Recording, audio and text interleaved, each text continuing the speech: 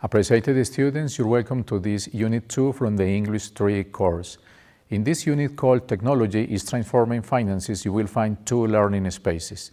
In the first one, the reading and writing skills will be developed through information technology, bank innovations for finance, financial services, and high-tech products. In the second learning space, the listening and speaking skills will be developed through mobile phones, sales, use of data, and announcing a winning product. Finally, I have some methodological recommendations for you.